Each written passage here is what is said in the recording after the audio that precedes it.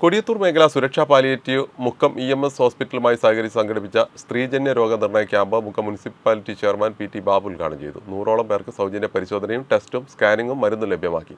മേഖലാ ചെയർമാൻ ഷബീർ ചെറുവാടി അധ്യക്ഷനായിരുന്നു. Zonal convener Girish Karkutty മുഖ്യപ്രഭാഷണം നടത്തി. Gynaecologist Amrutha K Nair nursing superintendent Shailaja M P Sabira Tharamal P P Suresh Babu Jisha K P administrator C Rajan secretary John C John തുടങ്ങിയവർ സംസാരിച്ചു.